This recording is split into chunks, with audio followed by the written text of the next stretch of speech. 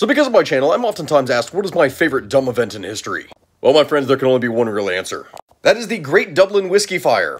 An event that was a complete tragedy for the Irish as they lost about 5,000 barrels of whiskey in the year 1875 when a whiskey distillery caught on fire.